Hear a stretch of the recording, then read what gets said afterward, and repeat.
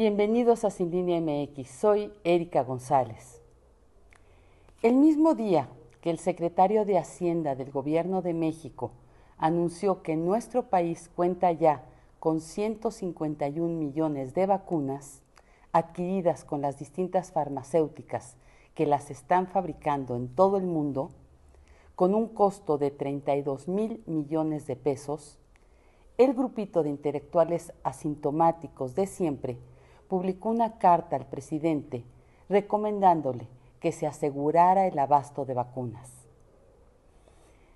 Habrá que informarle a estos integrantes del cártel de la pluma que de acuerdo con el censo realizado por el INEGI en 2020, la población total de México alcanza poco más de 126 millones de personas, por lo que, habiéndose adquirido 151 millones de vacunas, el abasto está asegurado.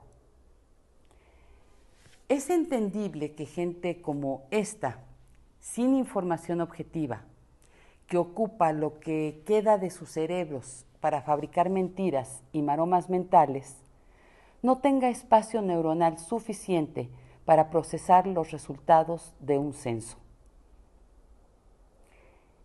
En su misiva al presidente, digna de un curso de redacción para párvulos, solicitan que sea un grupo de expertos reconocidos quienes se haga cargo de la estrategia de atención a la pandemia y al plan de vacunación, sin haberse enterado tampoco que son expertos reconocidos a nivel mundial quienes lo hacen en México, cosa que no podríamos decir de ninguno de ellos.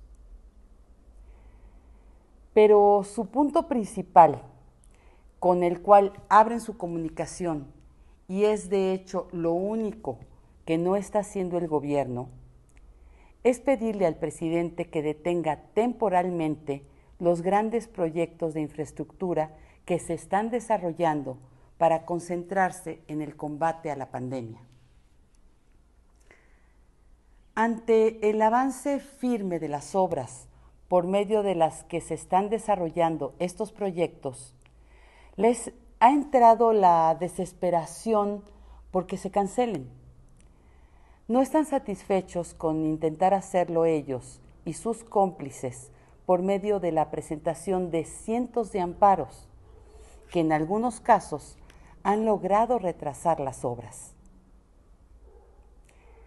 Semanalmente se informa puntualmente sobre el avance de las obras en cada uno de ellos y con toda seguridad, cada semana los intelectuales asintomáticos y sus compinches hacen berrinche. Nada les daría más gusto que ver detenida la transformación del país, representada por la culminación de estos proyectos. No deja de ser ridículo que quieran hacer creer a los que todavía los leen que sería necesario desviar el dinero que se destinó al desarrollo de los proyectos para que alcancen el proceso de vacunación. Cuando el dinero para la compra y aplicación de las vacunas está ya separado en el presupuesto del gobierno. Ya no saben qué hacer para detener el proyecto de transformación que los alejó del dinero del erario y de los privilegios que tenían.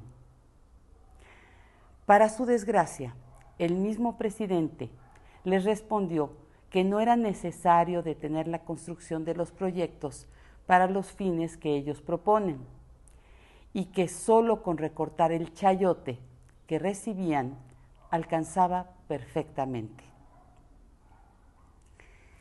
Es muy interesante darnos cuenta a través de sus escritos, donde hacen gala de su estupidez enfática, que esta gente cuyo nivel de raciocinio es tan elemental, hayan sido considerados como intelectuales, protegidos por los gobiernos anteriores como si fueran vacas sagradas.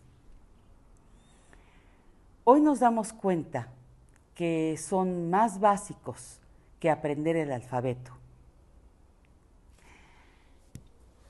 Como dijo el filósofo francés Michel de Montaigne, nadie está libre de decir estupideces.